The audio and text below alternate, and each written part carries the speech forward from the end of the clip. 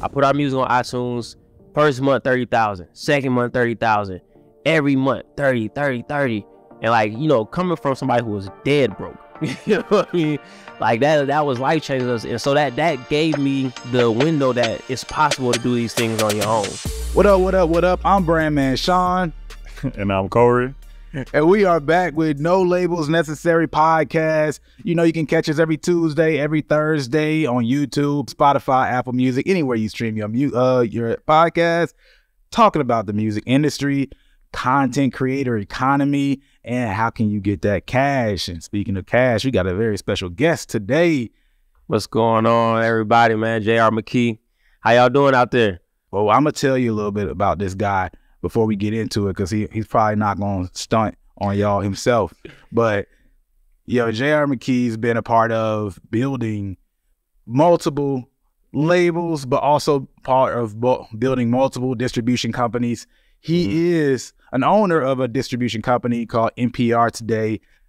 Just a few weeks ago, he officially won a Grammy. Now, is that yeah. your first Grammy? It's my second. Your my second, second Grammy. Yeah, it's oh, my second. See, Thank you. That's Thank a different you. conversation, different conversation. So uh, before we even get deeper into one, I want to ask you about that Grammy experience, just so people can get a, a sense of what that actually looks like.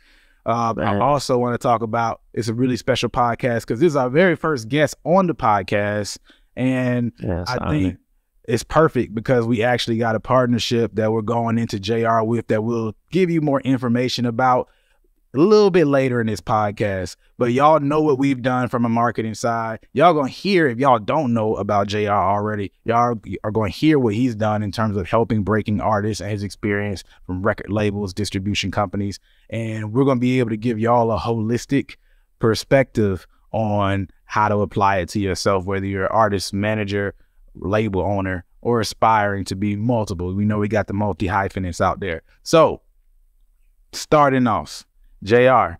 Yes, sir. We get anywhere yet. I, I, gotta know that Grammy experience. You were you were t- telling us some stuff that I wasn't aware of already. Yeah. what what what is that like? So, um, a couple weeks ago, we won a Grammy for Muni Long, Hours and Hours. The specific Grammy was Best R&B Performance.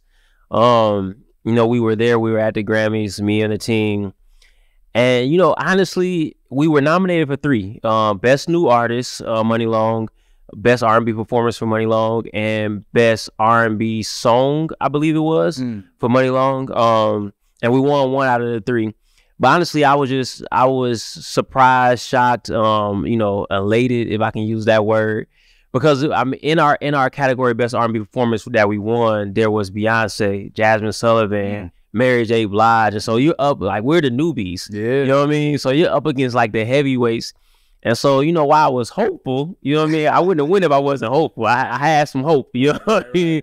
But but you know I just didn't know, and so in that moment when they said and the Grammy goes to, it said Muni Long, bro. I, Man, bro, that's like one of the most special moments I ever had. we got more so, special than the first one.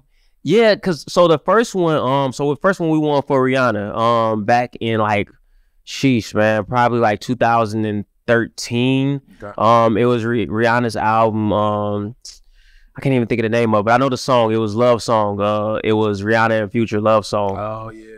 And, and so, um, the writer on that, um, is a girl. She goes by name Blu June. And so, you know, I was fortunate enough to to come across her um, before anybody else had come across her.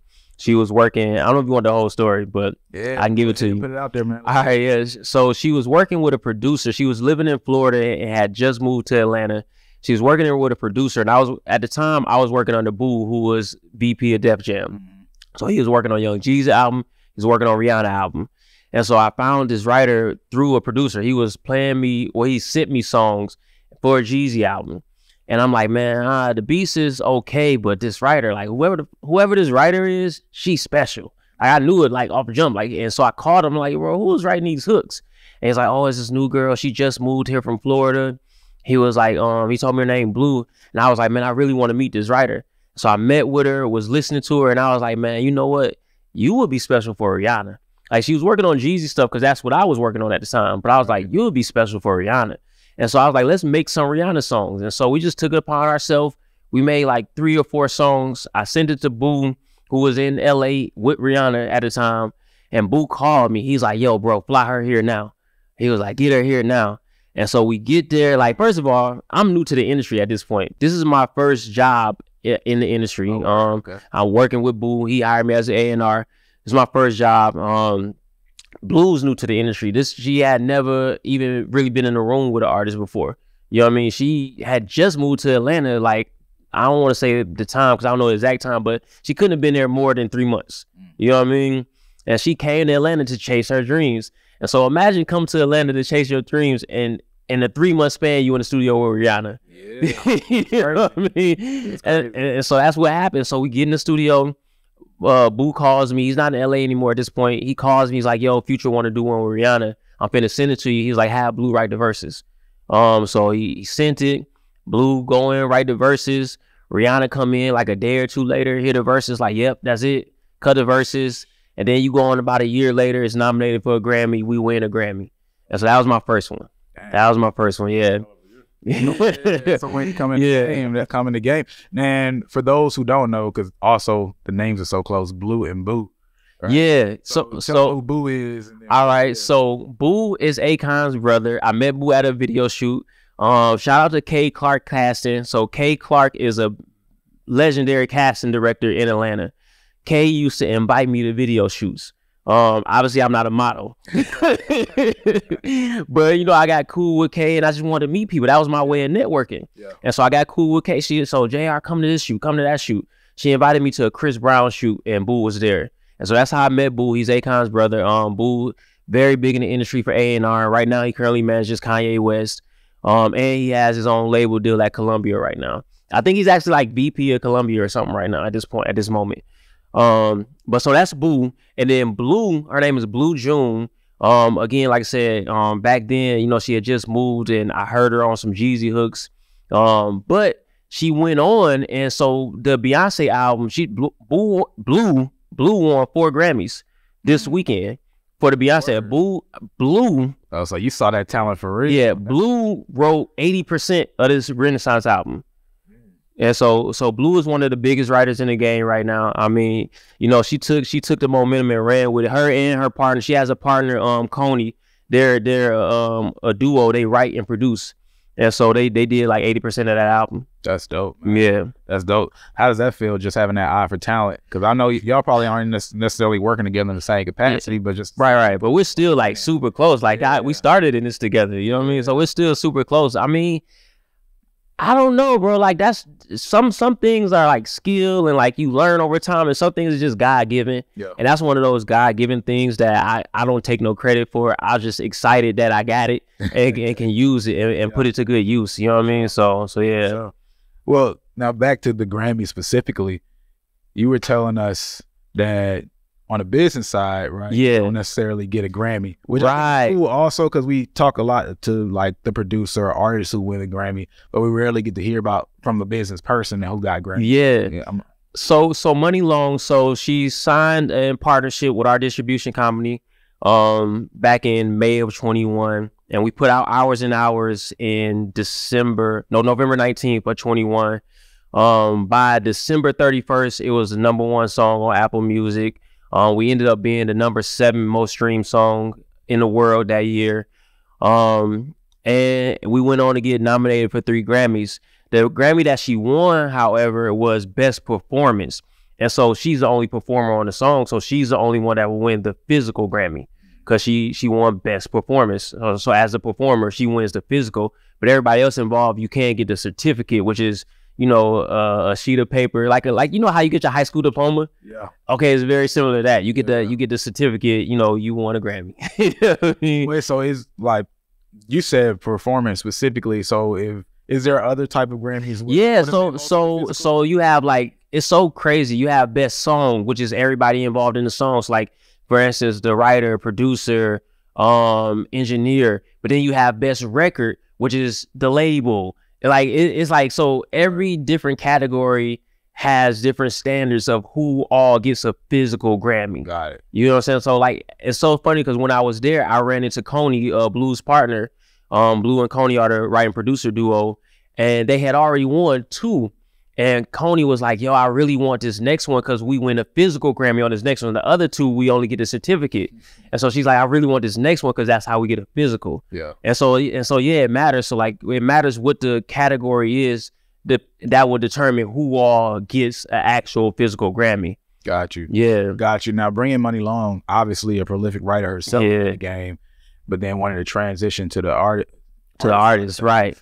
Was there anything in particular that you know you helped with, or for just from the Well, yeah. side, like how do you support an artist and help them through that transition? So so I got a call from a friend, uh, Dre Davis. Um, I've known Dre for uh, many years. He runs a, a touring company, Blue Alley Touring.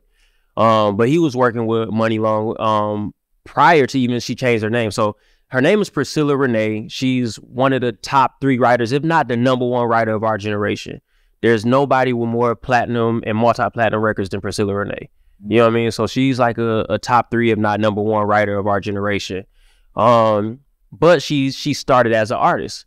Um, she started as on YouTube when YouTube first started. I think in 2004. Yep. Um, blew up on YouTube. She was the first viral artist on YouTube. She got signed to I want to say Capitol, but I really don't know. She got signed to a label. You know what I mean? Um, back then, and so I think that was 2006.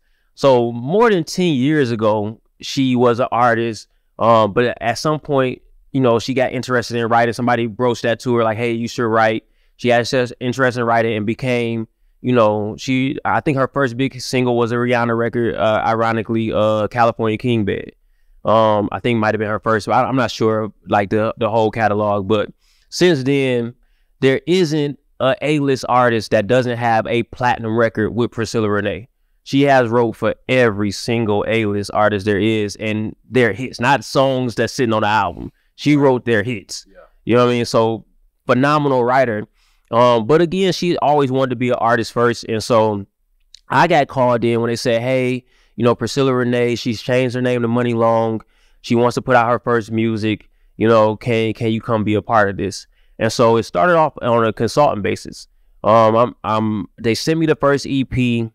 Um, and that these are long stories. I don't know if y'all want to hear it. Hey man, let's, hear it, man. Let's, let's hear it. Okay, yeah, We will get into some to- some regular topic Yeah. things, but I want to okay. set the tone though. Yeah, so they they sent me the first EP. Um, again, she hadn't put anything out yet under Muni Long. And the thing is, when you when you change your name, you start from scratch. Like your Spotify um account, zero monthly listeners. You know what I mean? Your Apple is you're starting from zero. You know what I mean? And so this first EP was ready. I listened to it. I thought it was really good, but I didn't think it was for her. You know what I mean? Like she's used to writing Ariana Grande hits, things of that nature, and that's what this EP sounded like. It sounded like these are the records for Ariana. Can you stop and talk about that for a second? Because I Yeah. always say that's one of the problems that a lot of songwriters and people that have talent Yeah, go through. Yeah. It's like you don't know who you are yet. right. I'm and, and that and that was that was my issue with the first EP. I was like, man, this really sounds a lot like it would like this is the thing. They were hit records. Of course. Right? They, they were fire records, but it wasn't. You, you're you're a black female R and B artist. This this isn't indicative of that. This isn't what that would sound like. You know what I mean? And and so we put out the first EP on a consultant basis. Um, and at that point, you know, I started my distribution company, NPR Global, and I and I said, I was like, man, I really believe in you. I would love to like do a situation with you. Um, and she had went to all the labels. Of course, she has ties to every single label. She writing all her hits. Um, and they couldn't work out a deal, so she didn't go with any of the majors. And so I was like, well, hey, this is an opportunity for me. Like I believe in you greatly. Like let's let's work out something where you get to keep your masters. Um, you get majority of the revenue. I just get a a, a, a minority share of the revenue, and we and we you know we work together. We build a partnership. And so that's what we did. Um, and the first thing I had to do was I had to go in and work on the music. And again, keep in mind, not that she needed help writing songs. She's the greatest writer. You know what I mean? But when you're when you're an artist, you have to know who you're talking to. You know what I mean? And so I, I explained to her, I'm like, you know, if we want this to work, number one, we're black. We can't skip over black people. We can't come out with Ariana Grande type hits. Like you have to start with the culture. I was like, let's l- let me let me explain to you how you write to these young black girls as best I can. I'm not a young black girl, but I say you about, yeah. you about to get the heat coming. yeah, as best I can. You know what I mean? I'm not a young black girl, but I understand the music that resonates with our culture. You know what I mean? And so we just went through that process. And so when you hear EP two, EP three, you hear the drastic difference of now we're speaking directly to our people. You know what I mean? Like, and so that's what we went there and did. Well, It- why do why do you? Well, no, not why do you feel like that, but why did she choose Mhm. R and B specifically? obviously, you know you can. You know what's crazy? it, but she Yeah. the talent to say, "Hey, I want to." Yeah, she she she really loves country music, and so do I. Actually, I really love country music too. California Um, King Bed is a country song. Yeah, it is. It is exactly. And, and so she does have uh, country projects ready. Okay. You know what I mean? But her manager, from from what I've been told by her, her manager convinced her like R and B is the way to go. You know what I mean? And so her manager, What's the strategy from that? So since since the manager said that, what do you think? I mean, I just, I just think you you you have to understand where you can be successful, and not to say that she couldn't be. So she could probably be the biggest country artist of all time. You know what I mean? But I think the strategy was this is where we'll be successful. You know what I mean? This is this is where we start this thing off because you still can get a, a Muni Long country record, no problem, right? But um, they wanted to do R and B. I wanted to make sure we were talking to the right people. Um, and so we went in the studio, made Matt like, bro, I loved working with her in the studio. You know what I mean? Um, I started my career um as a label owner, but I learned later that I am a great composer. I am a great producer. I'm a great songwriter. You know what I mean? I learned this from being in the studio with my artists and like the talent just flowed. Um, and so I, I was able to do that with the greatest songwriter of my generation. So I mean, I, I love that experience. And so we we wrote records together. Um, we talked about what we should be talking about. You know what I mean? Yeah, we talked about what we should be talking about, and that's what you get out of those projects. Uh, EP two, EP three is like those conversations and, and those moments in the studio. Um, and it worked. You know what I mean? Um, the the first record we really collaborated on was called Just Beginning. Um, and that was her first breakout record. That set up hours and hours. Um, and so Just Beginning was a record where she had the beat and she sent it to me, and I was just like, man, this reminds me of like R. Kelly trapped in a closet. And I was like, man, I was just like, yo, what's like the the most disrespectful shit that you think, but you don't say it. At least you don't say it out loud. You may say it to your girlfriends, but you don't say it elsewhere. I'm like, I want to hear what you would tell your girlfriends. I want to hear that disrespectful shit that you would tell them. And that's how just beginning came about. And um, we we got in there, man. It, it was an amazing record. And so it actually um it went viral. And then uh, Rihanna got wind of it. Rihanna uh, responded to some some things about it, and we used that momentum to put out the EP. And on the EP was hours and hours. So Yeah, dope. Yeah, man. You know that was that was my song when it came out, man. yeah. I, I really rock. I actually, I don't know if I should say this. you know what I was what I was saying. Remember when I told you how I, I misread the title forever? Oh, he thought it was hers and hers. was hers and hers. But I, I think that actually helped us a lot too. right, That actually did help us. I saw early on. I I I was uh, there when the first pop happened, like just watching on TikTok. Yeah. TikTok, Yeah, and I forgot her name, but it was the girl and her girlfriend. I think it was Breezy. like the girl from Brick Breezy. Empire or something like yeah, that. Breezy. That's I my saw them two. So Yeah. okay, it's it's two women that are dating, and then Yeah. the song I see So- the title, so- I thought it was hers and hers. Right. So initially, the trend was was more led by females because of that reason, because they thought it was hers and hers. okay, see, You know what I mean? So- the only one. Yeah, so initially, so it was very helpful. But but even even prior to that song being out, and this is why I tell people, this is why the data and just paying attention to, into the details is so Mhm. important.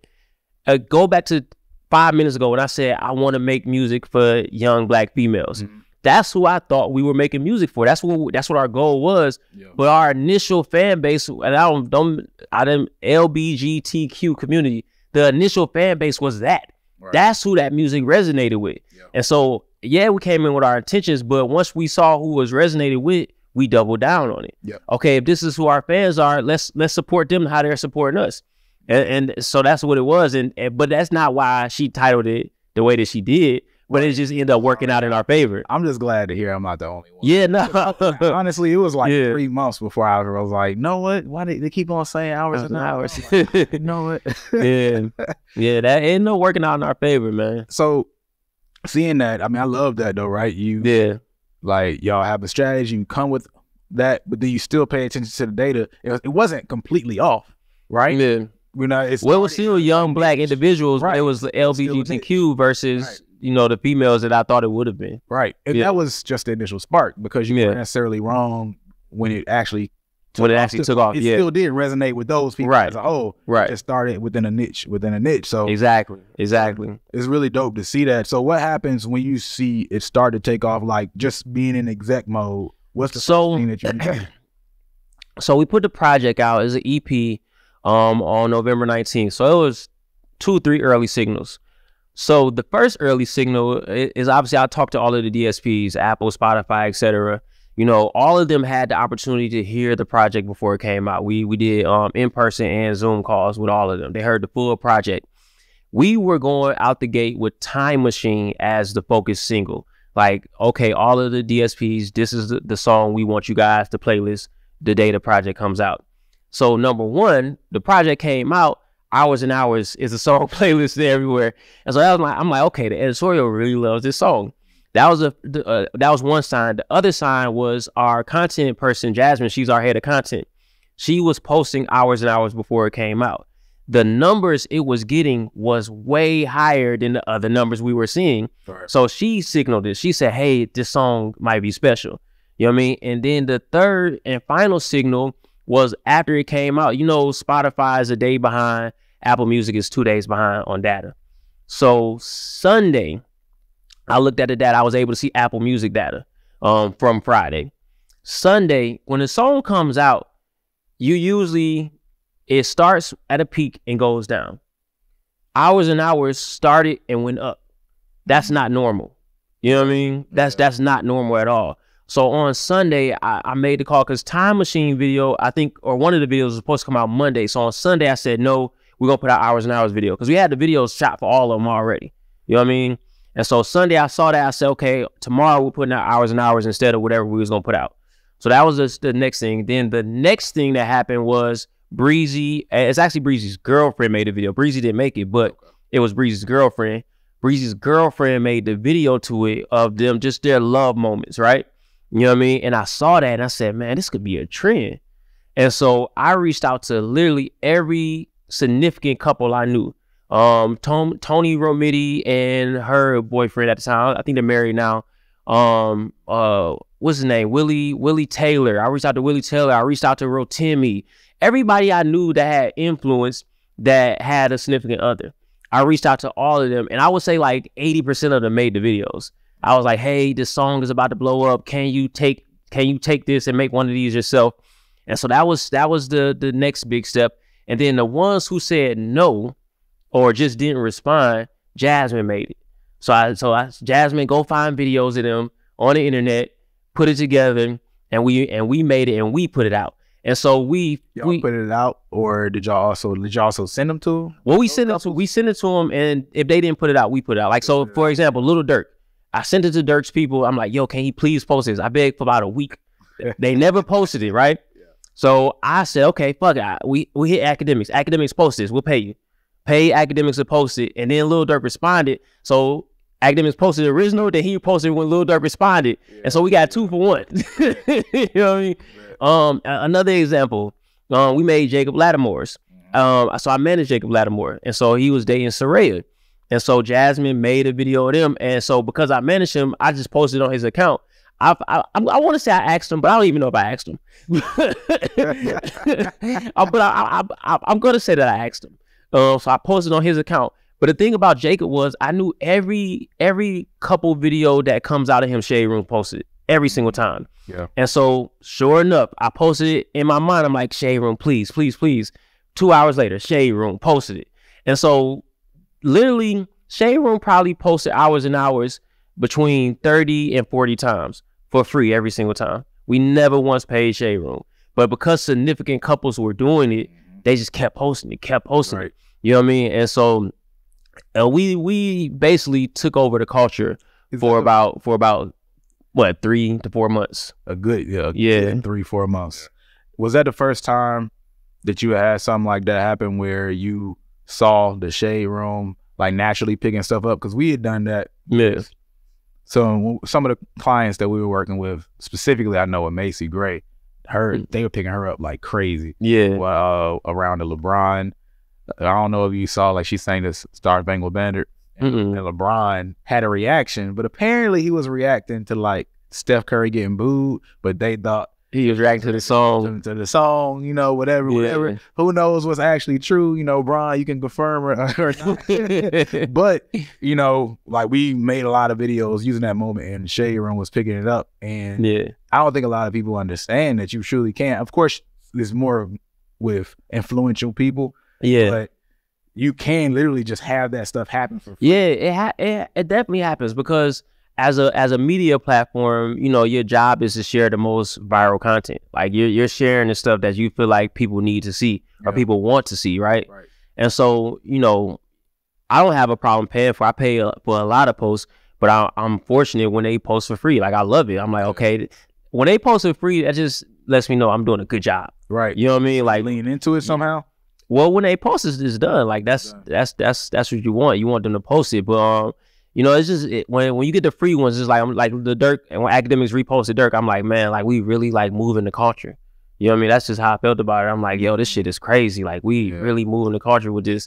Um, and so yeah, nah, it's always great when they post free. It's it's, it's a possibility, but you know, I I would just tell people I, don't- I don't wait for that. Like I pay, you know what I mean? Yeah, I I pay for plenty of posts. Right. Yeah, Right. So I like what you said there. Um, just from a, a marketer side of things, right? Because that is kind of what it feels like. You you you made things move multiple times before Mhm. and got successful results without that extra impact and people posting things. yeah. But then when shit's moving like that, you do feel like, yo, this is like yeah. yeah. bro, yeah. Yeah. You know a moment of impact is made. And like you said, y'all really did take over the culture for about three, four months. That was that Man. was a song, man. And, and I feel like, especially for R and B, I don't even think it's just a feeling. I think it objectively, we don't have that many moments where there's a song like Right. that takes over the culture and from that type of energy too. That was Yeah. like that was it was a positive energy Right. versus versus the Yeah. negative. You know what I mean? yeah. It was very positive, man. It was great. I mean, first of all, shout out to her for the song itself. Right. You know what I mean? Um, and from from what I remember, that was just something she wrote in her home, like just messing around. You know what I mean? Because normally she's in the studio, um, you know, making magic. But I think with that one, she said she was like washing dishes or something, and she just heard a beat on YouTube, and you know, it came to her. So I mean, that's a magical thing. You know what I mean? To to Yeah. turn to that's a multi platinum record, um, Grammy winning record. you know what I mean? It So feels more like home than the studio too, though. yeah, kind of yeah, the energy of the record. yeah. Though, did she just like walk around the house streaming beats on YouTube? I don't know, man. I, I don't know, but that that that shows the the hunger it takes. Like I said, like you talking about one of the greatest writers of our generation who still just has that that hunger for it. You know what I mean? So that that shows like I think it shows passion, but it also shows hunger. Like she really wanted this shit. Like she really wanted to have her stamp versus you know writing for other people and helping them get their stamps. Yeah. You know what I mean? And so you know she was so hungry for it. She at home listening to YouTube. Like I'm gonna do what it takes to find this record that's gonna take me up through there. You know what I mean? So shout out to her, man. Um, a Grammy, bro. That's I. Is what's so crazy about it is we're independent. We're we're not tied to to any label situation. Like we did all of that. We went number one on Rhythmic Radio, number one on Urban Radio, um, number seven most streamed song in the world. At, at one point, we were number one on Apple. We were number one on Spotify. Um, I mean, I think we made this number one on TikTok. Um, bro, just so many number one, so many without anybody's help. It was literally just us hiring the right teams, like hiring the right radio team, hiring the right UK team. We hired an Australia team. I mean, we hired so many different teams to make sure this world was recognized globally. Yeah, I mean, this record was recognized globally, man. And so that is for for that to combinate to a Grammy is like, yo, anything is possible out here. Yeah, man, that's crazy. You know what? I'm glad you said the independent thing because Yeah. that just sparked in my head. I remember there was a situation Kohrey and I had earlier last year. where Things were going on with the artist, and we were considering possibly like signing her or something. Mm, Um, and I actually hit you up mm, just to see what you thought about the situations. You were one of the main people I thought of, and and asking you about your situations. You said because it was I, I was thinking about a JV that was the main thing, and I was asking you about your JVs, and you're like, yeah, I done J- JVs, I've done these things, but it's like honestly, I don't even need a label anymore, Right. whatever. And I would like you to kind of talk about why, what that perspective is, Yeah. and yeah, let, let's just start that, like seeing, going through those situations and getting to the point, I don't need a label. Right. I mean, I, I've been what's we're we're on year 18 now, man. So I'm like I'm a full grown career person. this is my 18th year of my career. Um, you know, I've done it all. I, I I started off independent. Um, I broke my first artist independently, and I'm very fortunate that that artist didn't get signed because I wouldn't know what it's like to do your own thing. You know what I mean? Um, I was this young kid out of Mississippi, and we were the number two largest artist on MySpace at the time and none of the labels would sign us, but we weren't connected to any any veteran. You know what I mean? Soulja Boy got signed because he was connected to Collipark. You know what I mean? But we were just us. Like we didn't have any any industry veterans. So like when they called us up to meetings, this this young country dude from Mississippi and his young country artist. They not finna give us a deal. But that was like the biggest blessing because it forced me to figure out, you know, how do I do this on my own? Um, and I didn't even notice until Ghazi told me. Ghazi came to me and he was like, "Man, you're the first person to ever put a mixtape on iTunes." And I didn't know this at the time, but I found a company called TuneCore because I was like, I saw a beer commercial actually. Funny, it was a Budweiser commercial, and it was two brothers, and one of them did the marketing and one of them did the brewing.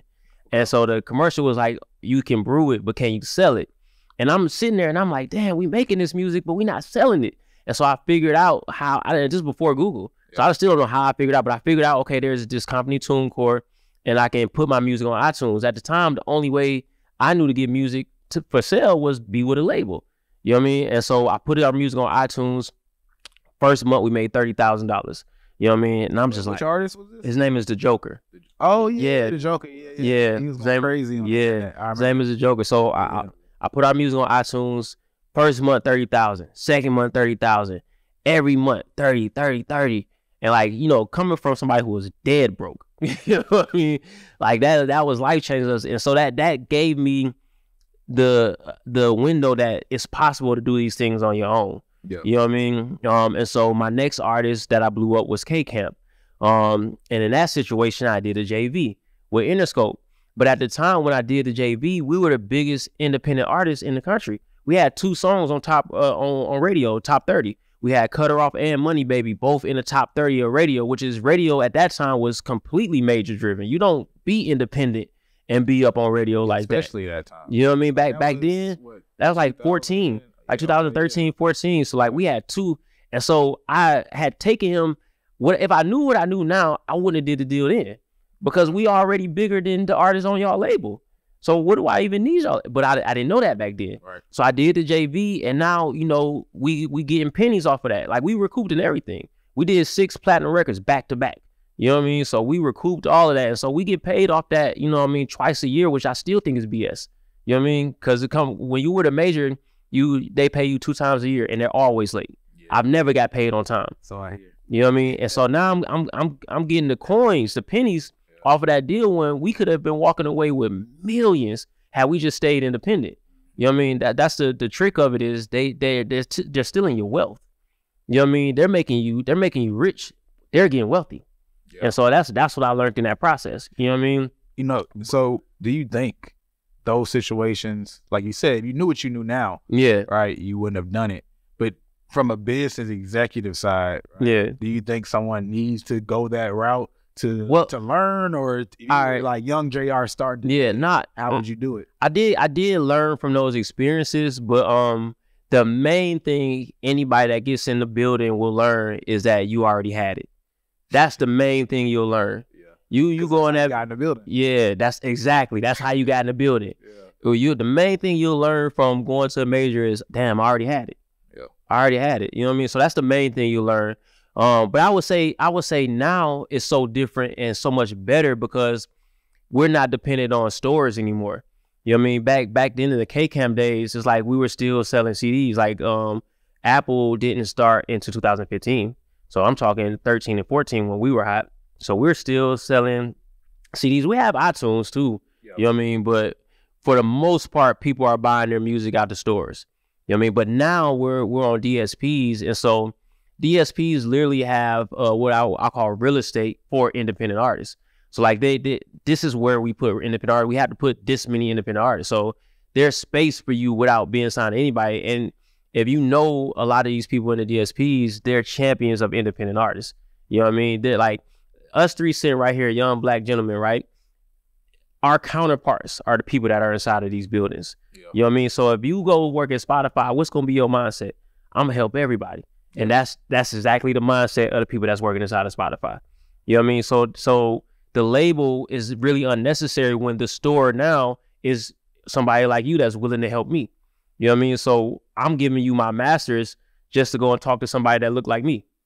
When I could have kept all that and, and been talking, hey, listen, Carl Chery's on Twitter, Instagram. You know what I mean? He, Carl Chery is the head of uh, Spotify Urban. Um, you got people like Walter Tucker at Apple. He's all over Clubhouse. He's all over Instagram. Like the people who are in position to help you are not hidden away. They're not gatekeepers. They're public.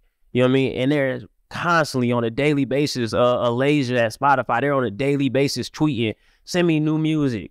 You know what I mean? So like your access to them is is wide open. Yep. Um, and so in order to sell music, you had to be in the stores.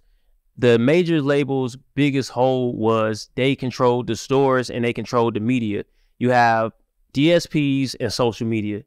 So now, why would I assign to you? You don't control social media. You don't control the DSPs. So therefore, you're just a middleman. You know, and again, there are great people inside the label. So I'm not. I don't want to talk completely down on, but we're talking from a business structure and a wealth mindset. It's unnecessary. You know what I mean? It's it's just an unnecessary uh, service at this point. Yeah. Now you still need experts, but my my what I've been telling people is there are so many experts out here that have started their own individual situations. You know what I mean? Joey IE left Interscope, now has his own thing. Um, what's my guy that just left Capitol? Um, now has his own thing. I can't think of his name. Uh, but Ray Daniels left Warner, now has like all of the top executives are are sort of you know branching out and starting their own things, and will give you a way better structure than had you signed to the major. So like you have these different experts that are around that can help keep your wealth in your pocket, but still provide you the expertise like myself. You know what I mean? I still can provide you the expertise while helping you keep your wealth. And so for me, it's like if you get to that level where you need those experts on your team, they're out there now without having to give away everything. Beautiful. Beautiful, man. Well, with that, just a reminder in the bio of if you're watching on YouTube, we're gonna have a link to give you an idea of what we're getting into together. As I said at the beginning of this podcast, we have a really dope partnership. So if you go to brandmannetwork.com slash shared information, because we're bringing our minds together to give you some of the most valuable content out here because there's a lot of people who are doing videos and talking about things, but very few who are actually doing it. Y'all heard this entire podcast. JR is Yeah. more than doing it. And y'all already know what we do. We pride ourselves on people being people who actually do it. And we want to bring y'all more people just like JR. So go to brandmannetwork.com slash shared information if you listen to my podcast. But of course on YouTube, the link will be in the description. Now, with that being said, Hey, J- Ja'Cory, when we get into the second part, bro, I'm gonna need you to. I know we got one mic today, so I know you know what I mean. Like, you, hey, you know, you know, people will uh be making comments and stuff like, "Well, how come?" so, you know how these folks are. But like with that being said, want to get into one of the first topics today because you know we always have to get into some of these and Do it. Marketing artist versus breaking a song versus breaking an artist. And I think that people don't understand that mm. just marketing isn't enough, right? Yeah. There's a skill set, a way of looking at the marketing activities. Like someone will learn how to run ads and think, oh, okay, I'm supposed to break off of just doing this. Or someone will learn how to do, you know, some influencer campaigns and think that's enough. So want to touch on everybody's perspective, but what does it look like to market an artist versus breaking a song? But why isn't breaking a song the same as breaking an artist? What's the difference there? So JR, want, want you to start it up and J- J- uh, Ja'Cory want to hear your thoughts too. Well, and real quick, can you can you start by defining what you feel like breaking is? Because we get that question. Okay. Like, what is breaking? All right, so breaking a song, I would feel like for a song to be broke, I mean, for me, and I don't know if this is like a, a level thing, but for, for me, breaking the song is, you know, the song going, you know, being certified in some way, so a gold or a platinum single. Um, that would be uh, breaking the song. Um, from ground zero. Like let's just say it's a, a brand new artist. Uh, Yeah. Let's just say breaking them into the game. Period, where people are paying attention to it. How many streams? Well- if you had to put streams on it, so so breaking but that's the difference i guess that's the difference between breaking the song and the artist right so so breaking the uh, artist I, I feel like there's a few stages. There's breaking then there's immersion and then there's um what's the word i'm looking for? Established right? And then after that you go into like superstar. You know what i mean? So breaking i would feel like is anything under a million spot um monthly listeners on Spotify. I feel like anybody in that category is um let, let's go as low as a quarter million to a million. Anybody in that category, they're on the verge of breaking. You know what I mean? Then I would jump up to like I would say two and a half million to five million is emerging. You know what I mean? And then I, I think once you get once you get into seven or more, you're an established artist. You know what I mean? Like you're you're an you're an established artist, and then superstar is gonna be 15 plus, 15 million plus monthly listeners is a superstar. all right. So with that being said, what about for an individual song? So again, for individual song, it, it has to be certified. You know what I mean? It has to be like you know gold plus. You know what I mean? For an individual song to to break, like this song has been broken, it has to be certified. What does it take in terms of amount of streams? Uh, so so U.S. right? So like every every uh country, and I know I say that word very country, but every country, every, every country, you know, the streams in that country count for certification. So like for example, if I have 10 million streams in U.S. and 10 million in U.K. I can't. I don't have 20 million streams counted towards certification. I have 10 million in the U.S. and I have 10 million in UK. So like, you have to get 75 million, uh, more around 80 million streams in the U.S. to be U.S. certified gold. You know what I mean? It's right. it's about 75 to 80 somewhere in that mark, and then 150 to 155 is platinum. 155 million is platinum. You know what I mean? But they had to be U.S. based. I'm glad Yeah. you noted that because I I remember I was talking to some exec or whatever, and they were showing us a song that was doing like I don't know eight hundred thousand streams a day or mm-hmm. whatever. It was going crazy for a good minute, but it wasn't certified anything because it was like worldwide. Yeah, And that was yeah. the first time that I, you know, found out that you know it has to be in that specific place. Right. It has yeah. And so like you you will see shit like I got some plaques that say like uh, platinum and then at the bottom it says platinum in Canada, platinum in, you know what I mean?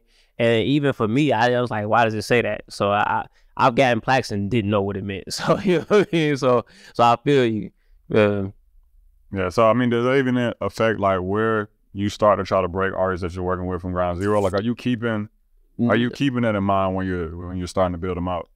No, I mean, luckily for me, like I, you know, I think I have a specialty in breaking artists. Like majority of labels or executives, period, don't break artists. You know what I mean? Um, they can they can amplify the artist for sure, but you know, nine times out of ten, every executive you ever met doesn't break artists. Like I, I'm fortunate I've broken almost almost ten artists. You know what I mean in my in my career. So, but yeah, I, I think breaking an artist you're starting from scratch is is totally fine, especially in the streaming era when it's so much quicker because of like a TikTok. Yeah. You know what I mean? And so I have no problem starting from scratch if I truly, truly believe like in this talent. But I love when I don't like Justine Skye. Obviously, I didn't start from scratch there. You know what I mean? Um, and so Justine Skye, we just took her record number one on TikTok. Um, it's gonna be platinum here soon. At this very moment, we're streaming just under three million streams a day on it. Um, but they came to us and it was already moving. It was like four hundred thousand streams a day when they came to us. And so, um, I love when stuff comes with momentum and all we have to do is like like really tone in on our expertise and like take it all away. You know what I mean? So stuff like that is dope too. So scratch or jumping on momentum, either way, I'm I'm totally happy with it. Yeah, I mean, and Yeah. so I think that's a good point you brought up too. You talk about taking advantage of the, momentum. You had the, Yeah. the Justine Skye situation that happened. Was that right before the Muni Long situation? Or No, that that that just happened. We happened? that was so they came to us early, early December. And so we got a deal done, um, I want to say like December 9th, um, and went directly to work. Um, and by the first week of January, we were the number one song on TikTok. Got you. Got Yeah. you. So so what's what's your first move when you see that type of Something like that happen? Yeah.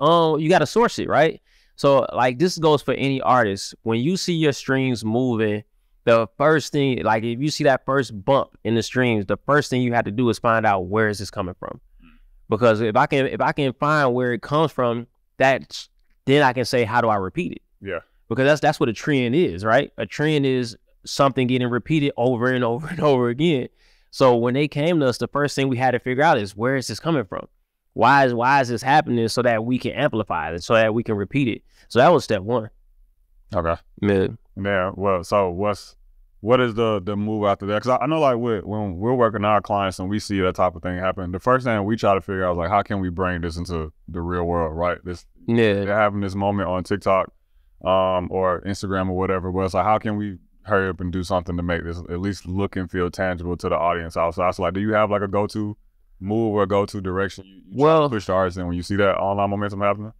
I mean, so I think step one is figuring out where it's coming from and repeating it, like basically more or less amplifying the trend. Yeah. But then step two is making sure the culture knows it exists because things can be completely out of the culture. They get you. You have songs that, you know, at least in my case, because I'm black and I, I deal with black culture.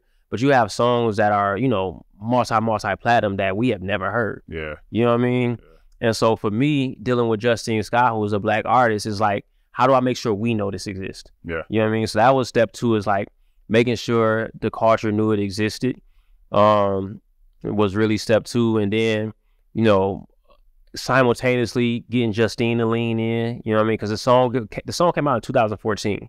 So, you know, it's not as it's not a, a layup to get an artist to promote a song for 2014 Yeah. they're gonna be like, oh, this is old. And she not to say that she did this, but I'm just saying these are some of the conversations that have to be had. It's like, hey, I know this is from 2014, but this could really be a big moment in your career. This could really break things open. So having those type of conversations, um, and getting her to lean in, which she was great about, um, you know, just finding the right content because Justine isn't a new artist. She has a brand to protect. And so finding the right style of content to shoot with her that that that aligns with her brand. Um, it was it was a few, you know, just nuances that had to be worked out. Um, and then of course tapping in with the DSPs, tapping in with TikTok, and just making sure everybody was on the same page of where this is happening. Um, um, so SoundOn uh, his TikTok distribution company was hugely instrumental in this. Um, Vivian over at SoundOn, Vivian was freaking rock star with this. So like, um, she made so many great things happen. Um, and so just tapping in with, with the network and just, you know, making sure everybody's aware and just going, it's like, it's like going to, to war for about a 60 day period. You know what I mean? Cause, uh, that's another thing most folks don't know. Like they'll come to me when the trend is over and I'm like, bro, you got a window. Man, I was You- gonna ask you got a window. touching on it. Let's Yeah. talk about that window, man. Why is that? Because you have been talking a lot about momentum. Yeah. This thing, like truly, why is it so important to catch it in that window? You have to because uh, again, trend. Uh, another reason it's called a trend because it ends. Eh, you know what I mean? It's it's a it's a trend for the moment, and so most most trends are going to run about forty five to sixty days. You know what I mean? That's that's the lifespan of a trend. Um, and in that moment, you have the opportunity to turn that into a hit record.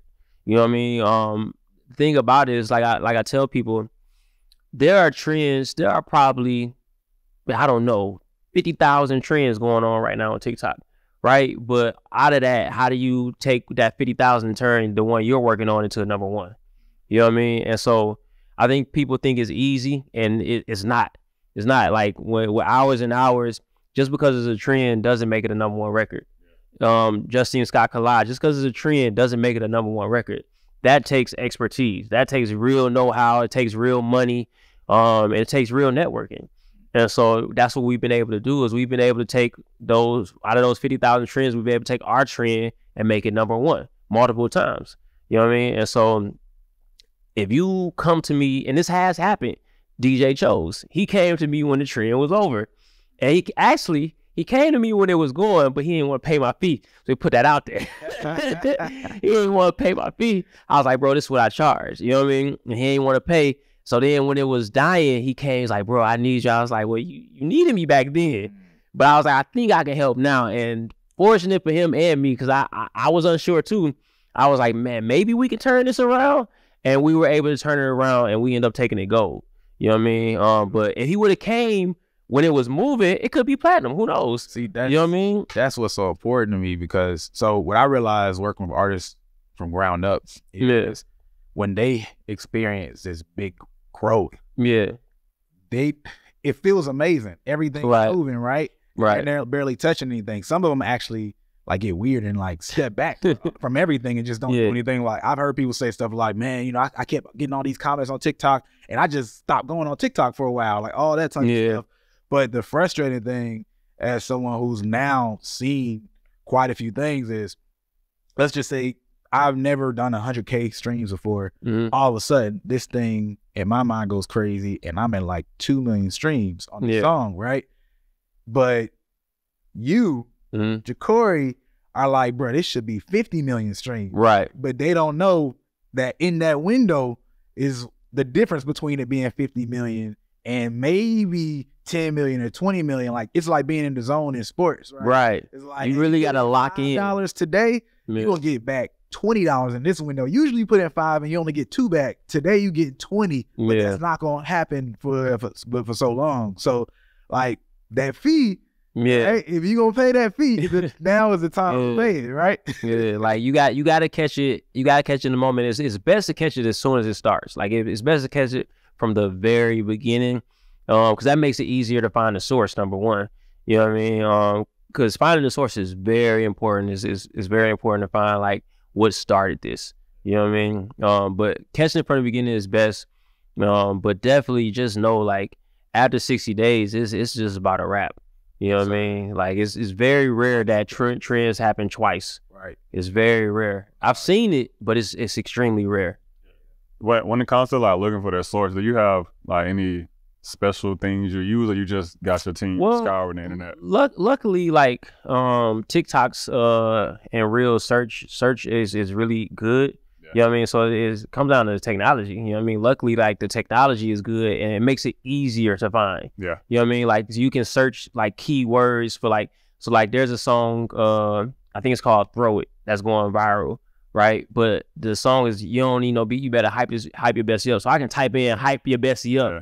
And find it versus having to know the name of the song. Yeah. You know what I'm saying? So like so luckily because their their search engine is so good, it makes it a little bit easier. Okay, Man. gotcha. before we leave this subject, because you know, talking about Justine Skye that being a TikTok song, and obviously Mhm. went number one. People have been talking a lot lately, giving all this TikTok slander out, saying that TikTok isn't it. You know, it had its moment. It's done. It's so much harder to break songs, right? Right. in short, my perspective is right. Yes, it, it was that for a period of time where Yeah. things were just The happening. algorithm was And open. now, and now it's a little bit harder, but it's about doing your job too, right? Yeah. So, what's your perspective on TikTok in terms of like, yeah, just the, the the state of TikTok for breaking Right. music today? So yes, you missed a moment. You know what I mean? And I was screaming at. I, I was telling everybody, do not miss this moment, because I knew it was not going to last. This is what people have to understand. TikTok is a business, just like any other business. Their their initial goal was to attract as many people here as possible. How do I do that? By giving away eyeballs. I give away the views, meaning that my algorithm is wide open. I want to show you to as many people as possible. Now, once you all are here, okay, now it's time to make the money. So now these eyeballs cost. Now you have to spend money, TikTok ads. You know what I mean? So now you're paying for these eyeballs. But with that being said, it is a competition. Who has opened up their algorithm to steal you back from TikTok, YouTube Shorts, Instagram Reels? Algorithms wide open right now. So it's like if you're paying attention, you just have to, well, you have to pay attention. Like, so for, for example, I started a TikTok, uh, I'm sorry, I started a, a Instagram page, family page. December 24th, we are now, what's our date? February 15th, 16th. So about 50 days in. I haven't spent any money. The page had no following. I, I started the page at zero. In the last 50 days, the page has reached 2 million accounts. All I'm doing is posting content. You know what I mean? And it still don't got no followers, just like how TikTok, you didn't have to have no followers. All you have to do is post good content, and the algorithm is going to make sure it gets seen because they're trying to make you come back from TikTok. Hey, man, come on back over here. We're giving it away. That's what's happening right now. So you just got to pay attention to where they're giving away the audience. And right now, that's YouTube Shorts and that's and that's Reels. Back to music on TikTok. You missed it. You should you should have been here when it was popping and we were screaming get on TikTok. But you know, us black folks, we was like, oh, they dancing. they dancing. Now it's still possible. It's just not as possible. You know what I mean? So it's still there. Like so, on, on the same token, I, I started a family TikTok page too. Um, and we had two videos. I have a video on there that has four million views and I have a video on there that has like a quarter million views. So I was still able to get some some you know traction on that page. Um, almost four and a half million views in total on that page. Um, no money spent.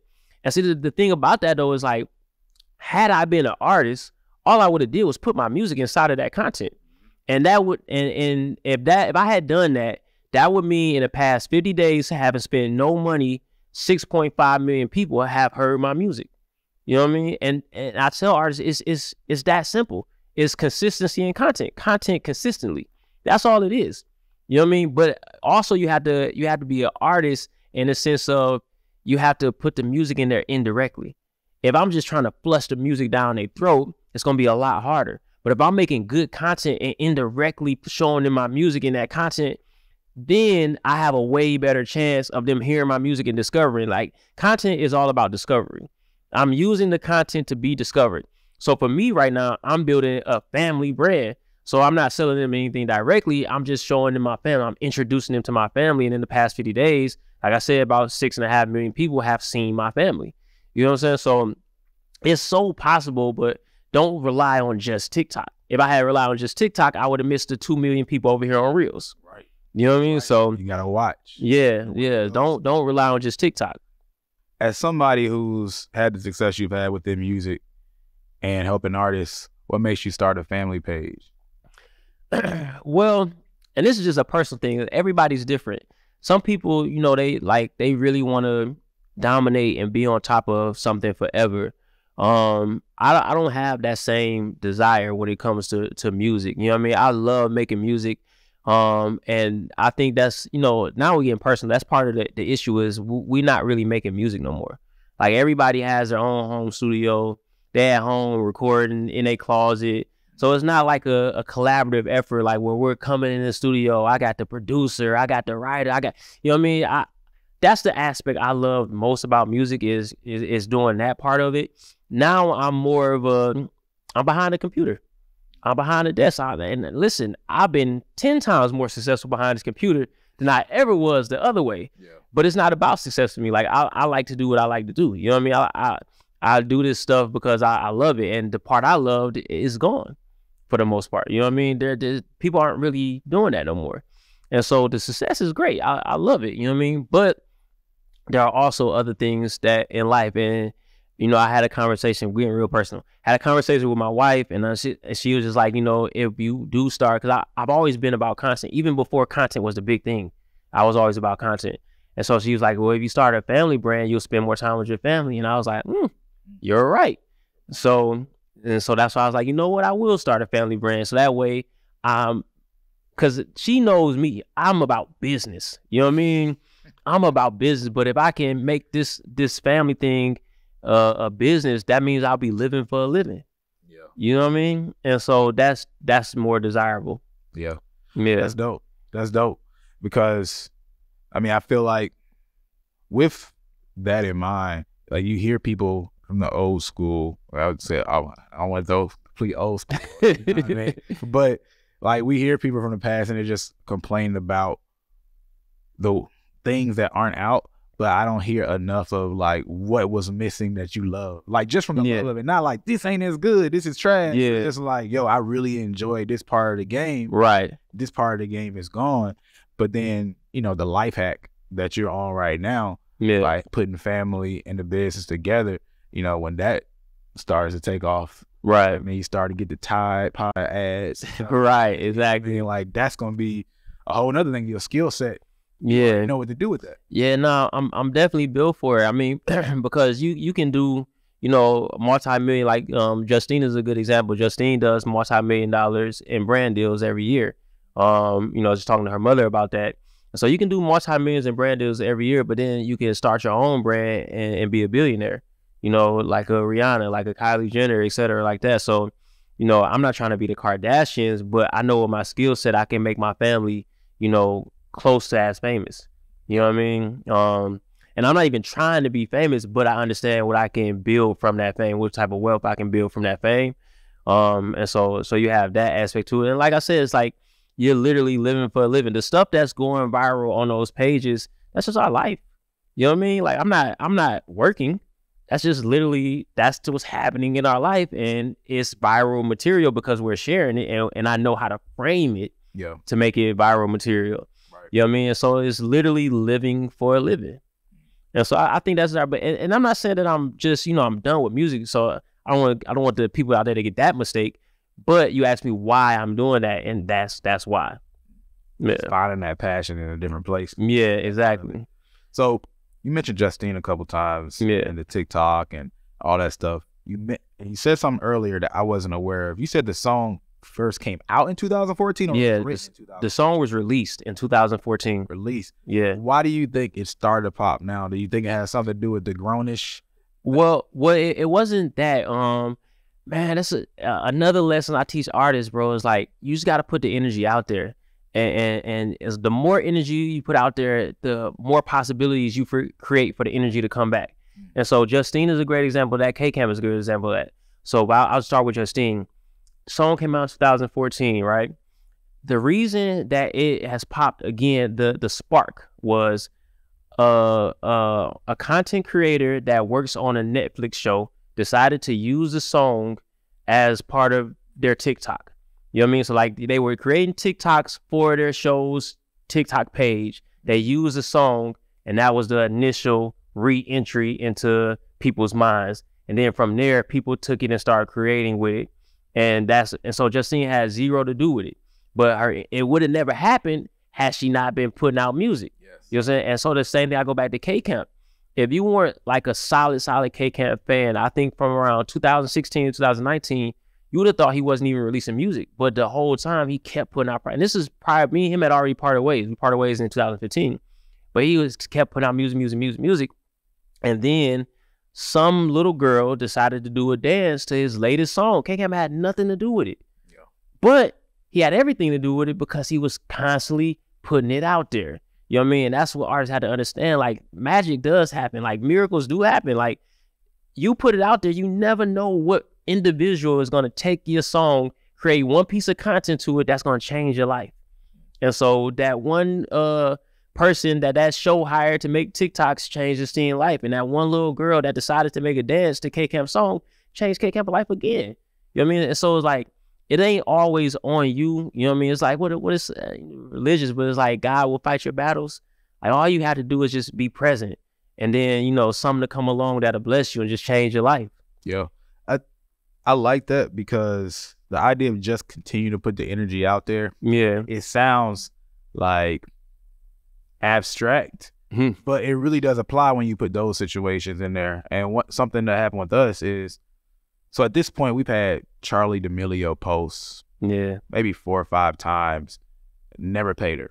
Right. that's crazy. Yeah, And the first time was completely accident, but the next few times there was we we had some strategies and kind of like how to incre- increase the possibility. But the first time, what happened was we had this song on TikTok. This is like 2019, um, and we're working it. It starts to take off, and it gets to around 10,000 videos. Artist budget runs out. Right. The next song Charli D'Amelio finds it before we even really do anything. Because Yeah. she discovered her through the first song. yeah, So she never first posted to that first To the first one. Now you have that person in your vicinity, yeah, right? And consuming your like Justine, right? She wasn't pushing that song anymore. yeah, But years later, someone went down the rabbit hole of just seeing because they might have found They out- probably found a new song and was like, well, what else does she have? right. And so you Yeah. never know. And it, it, it really, again, it sounds like this abstract thing, but it really is practical as Yeah. long as you know you keep putting energy out there and you know, for hopefully you have ownership of that stuff, right? Yeah, yeah. That's another that's another piece to it. Like, you know, when she put that song out, she was on Atlantic. But when she left Atlantic, her mother's an entertainment lawyer. So when she left Atlantic, her mother was able to get those masters back. Nice. Yeah, so so she owns that song and so every stream Justine's pocket. That's beautiful. Yeah. That's beautiful. Now, the last subject I want to hit you with today is just the idea that indie artists can make a living without being famous today. I want to just read Yeah, the- definitely. the uh, statement straight from a quote from Dan Runcie, my my guy. Well, uh, well, actually, I, I wrote it straight up. He he basically said, "Yeah, today any artist can make a living without um, Being famous. The whole Yeah. idea of it. Um, so g- shout out to Dan and Trapital. What do you think about that idea, and how can they do that practically? So this this lends us to the, leads us to the future, right? I was actually having this conversation on the way here with somebody. Um, streaming has been a phenomenal success in my eyes because it took away literal gatekeepers, and so now everybody can reach the masses, right? But because you can reach the masses doesn't mean you're going to get rich or wealthy, because you're still getting pennies per stream. But now what's coming next with Web three, you're gonna be able to go direct to consumer. Um, and we just did this with La Russell. La Russell, we we sold his album before it came out. Before his album had even dropped, we already had accumulated a hundred thousand dollars. And then the beauty of that is he didn't have to wait three months for DistroKid to pay him. The the moment that the person paid for the product, it was in his wallet. You know what I'm saying? So like he had that hundred thousand dollars before the album even came out that's direct to consumer. You know what I mean? And so where we're headed, you don't have to be famous at all. If you have a thousand solid fans that are willing to give you ten dollars every time you drop an album, that's a hundred thousand dollars every time you drop an album. Well, if you drop, let's just be modest and say you drop two a year, you're making two hundred thousand dollars a year off the music that you know. Sadly, I hate that you're making in your closet. You know, what I mean? you know what I mean? The music that you're making in your closet, you're making you have a thousand solid fans. You're not famous at but you could have ten thousand followers. You're not famous at all. But you're making two hundred thousand dollars a year off your music. You know what I'm saying? Let's say you throw some live concerts in there where you charge those same fans a dollar to show up. Well, let's say you do three concerts a year. Like, I mean, you, you're making money at many different ways. Now you want to drop a book. La Russell drops books.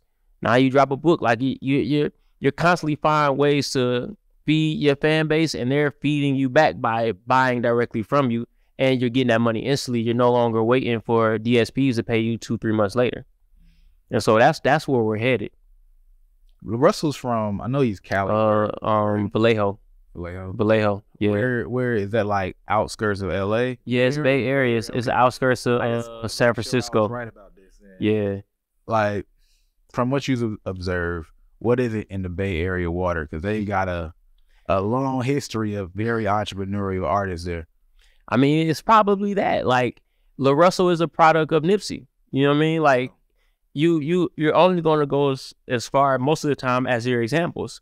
Um, and so that's that's why I love being such an educational person because I'm like, yo, the next person after me, it's gonna be crazy because I'm setting that example for them. You know what I mean? And so, um, big ups to our partnership that we're doing because you guys are the people that I've been missing.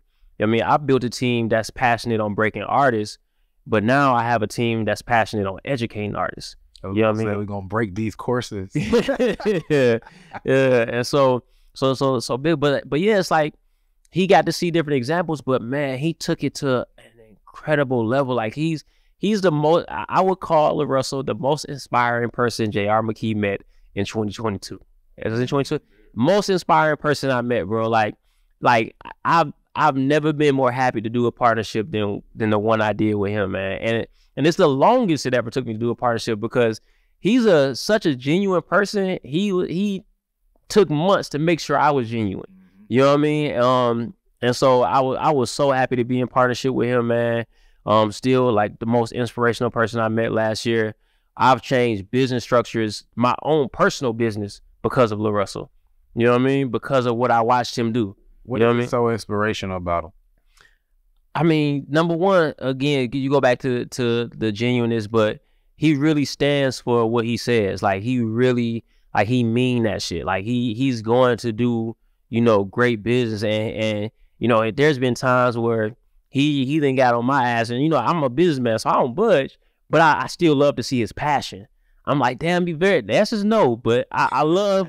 I love how passionate, I like, you know, he really stand on that shit. You know what I mean? And he told me, he was like, you know, he was like, man, you know, my bad. I just, I just really believe this shit, and I believe it with him. You know what I mean? Um, and so like just just to watch all the good work he did, just to watch the way he worked with people, man, to watch the way he treat people, man, like you know, hear him speak, like I, I you know, I've grown to be a great speaker. Um, fortunately for me, but like I love just listening to him talk.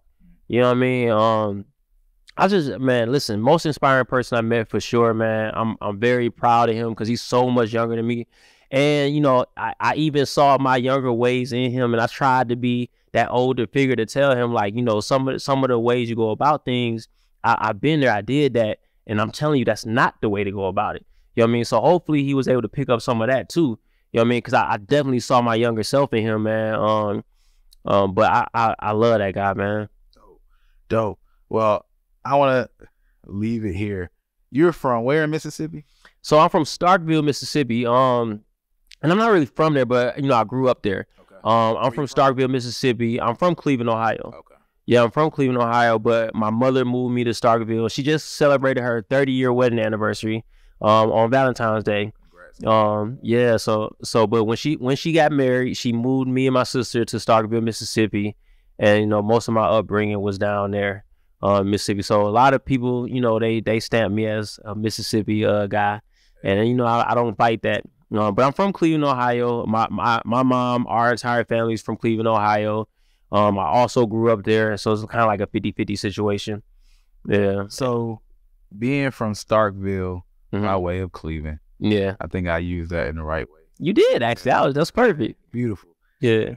And now being where you are today, I know shit ain't always been sweet. All right. Yeah, of course not. So, especially in music, what's been your method and motivation for continuing on, not just to go and strive and try to be successful anyway? Because I think someone who's where you are, you have that thing where you're going to be successful, you just don't know how you're going to get there, but you want to do that. very much so. and wherever, but specifically staying in music, right? Mhm. What ups and downs. Oh yeah, I got two two key things. I don't know, I don't know if it's kept me going, but two key thing key things that saved me. Mm.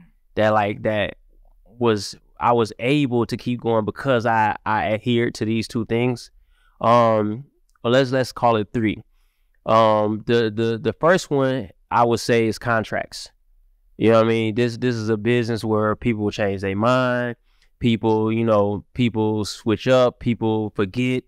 You know what I mean? And so contracts have been very valuable in my career. So I, I would always advise people when you're starting business, get it on paper. So contracts have saved me for sure. Um, the other two lessons come from Rich Dad Poor Dad. Um, the book. You guys should all read that. I'm not talking to y'all. I'm talking to them. You guys, you guys should all read that book. Um, and there were two key principles in there. Um, are the reason that I've had my success and, and been able to sustain. Um, the first one being if you want to become wealthy, you have to learn how to serve people. You know what I mean? And so that's what I've done all my career is I, I've served artists. You know what I mean? Having an artist is, is like having a child. You know what I mean? And no disrespect to artists, but that's literally what it's like. Um, you're you're raising them as your kid, damn near. And so I've I've served people and helped them realize their dreams. Um, and so that's what has made me successful is by making them successful. And there's the second thing, um, and even more key, is on the financial side. Rich Dad Poor Dad teaches you to only live off of ten percent of your earnings. Um, so you know if you make, and this is might not be practical to people, but if you make a hundred thousand, you want to be you want to have your living expenses under ten thousand. You know what I mean? Um, and I can't say that I ever lived at at ten percent, but I've always lived extremely below you know, extremely low. and and that's very helpful, especially when it came to like um finding a woman. You know what I mean? Because like when I first met my girl, um, my wife now, you know, I was raking in the money.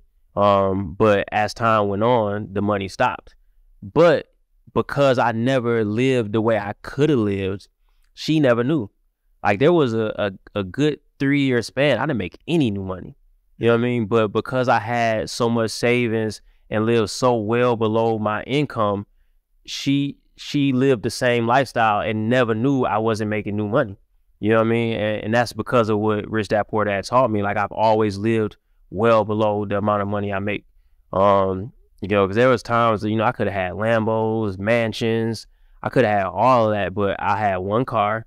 You know what I mean? Uh, I stayed in the town. so, and so like you know, and, and to her, she you know she looked at that that was balling to her. You know what I mean? Like you know this this nigga got money, but but you know I could have had way more. But I you know luckily like I, I adhere to that to that teaching. I've always you know lived below my means, and that saved me because like you said, the ups and downs of not not just the music business, life you know, my, my first lesson in the music business was this shit don't last forever. And that was when we got our first record deal um, with Cadillac Don and J Money. It was Inside Peanut Butter, Outside Jelly. It's a Mississippi track. Yeah. So we, we got our first record deal. That's this is how I left college. Um, I was 19 years old. We got a record deal, and my dad told me when I became successful, I can leave college. I didn't want to go to college. He made me go. But so when I got that record deal, he let me leave. Um, we went on the road about nine month run making at that time what I would consider hella money. You know what I mean? But I was spending it as I was getting it because in my mind, this is my new life. This is gonna be forever. You know what I mean? But no, it lasted nine months. I came home with nothing because I spent everything I made. And so that was an early lesson, like, okay, in music, you're gonna be hot and you're gonna be cold. You're gonna be hot, you're gonna be cold. You know what I mean? There's been so many cold years, but because I always lived under my means, the cold years look just like the hot years. You know what I mean? And that's what you want to, that's how you want to do it because it's going to be cold years no matter what profession, career, whatever. You know what I mean? Life, life is ups and downs. Life is, you know what they say about the, the, the, uh, the heart EKG chart. There's like, when it's like this, you dead.